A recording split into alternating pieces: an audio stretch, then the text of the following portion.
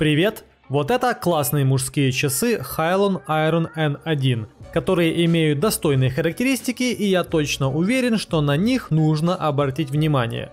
Также есть один прикол, про который я расскажу вам в конце.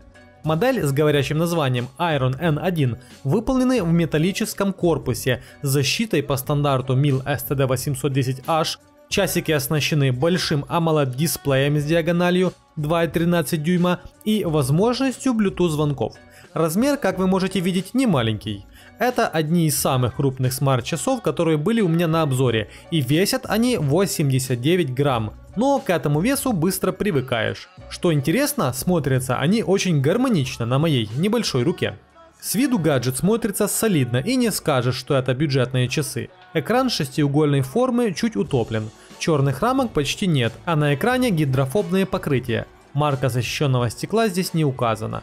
Углы обзора отличные, цвета сочные, запас по яркости достаточный. Я использую часы на средней яркости и мне этого полностью достаточно. По возможностям гаджета ничего необычного. Часы умеют делать все, что и должны уметь.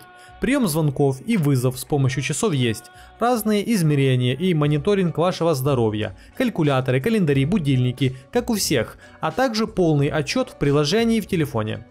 А вот качество перевода оболочки страдает, и это минус. Перевод, особенно в спорт режимах, особенно интересный. Управление простое и понятное и реализуется через три кнопки на корпусе. Правой кнопкой мы переходим в спортивные режимы, те, что криво переведены – при синхронизации со смартфоном мы можем настроить это меню, добавить или убавить ненужные упражнения. А также после запуска тренировки в смартфоне будут отображены результаты этой самой тренировки.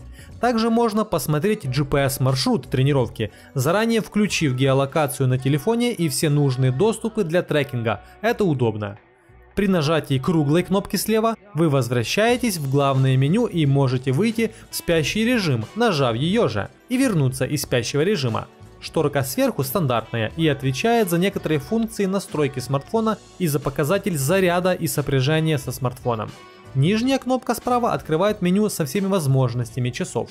Функции стандартные, такие как измерение кислорода в крови, давление, сообщение, погода, женское здоровье, музыка, тренировки дыхания, секундомер, таймер, будильник, найти телефон, калькулятор, календарь, управление камерой смартфона, компас, барометр, сигнал бедствия и настройки. Долго зацикливаться не вижу смысла, все стандартно и понятно. Свайпом слева направо мы увидим отчет о дневной активности, сердцебиению, фазы сна, погоду, управление музыкой и возможность добавить еще функцию. Свайп слева направо откроет небольшое меню основными функциями часов, только с мини-иконками для быстрого доступа.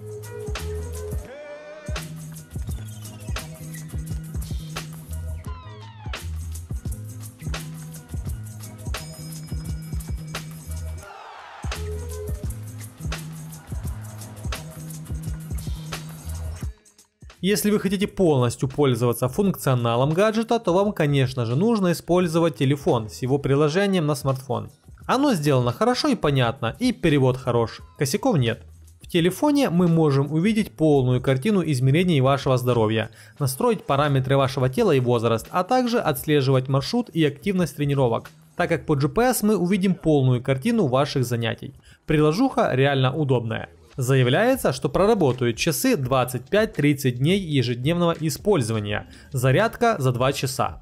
Но при своем тесте вот что я увидел. Если вы активно пользуетесь часами с приложением в телефоне, то за день они сядут около 10%, могут даже немножко больше. То есть это около 10 дней активного использования и то вряд ли. Но если использовать их чисто как часы и то с отображением времени в режиме сна, вот как сейчас вы видите, то тогда они прослужат намного дольше, чем при активном их использовании. Тут уже нужно проверять лично. Я, например, когда юзал часики, в основном их использовал только в режиме часов э, и в спящем режиме. То есть, когда на черном экране показывается время. Ну вот, я так ими пользовался. В целом часы очень достойны внимания, и мне они понравились. Еще, кстати, несколько месяцев назад Хотя я этими часами пользуюсь около недели. Прикол в том, что я делал уже обзор на эти часы только под другим брендом. Cubot X1, кто помнит. А теперь они вышли под брендом другой фирмы, но остались такими же прикольными и достойными вашего внимания. Цена, кстати, бюджетная, как для такого гаджета. По ссылке в описании вы можете заказать эти часы не только со стандартным силиконовым ремешком, который идет в комплекте, а дозаказать еще и вот такой стальной ремешок, который придаст деловой вид гаджету, имейте в виду. Там, кстати, не только стальной ремешок, там есть несколько видов ремешков, также силиконовых, но с другим цветом. В общем, перейдете, посмотрите. Часики реально рекомендую мужчинам к рассмотрению. Пишите, как вам этот гаджет, как вам часы и скоро увидимся.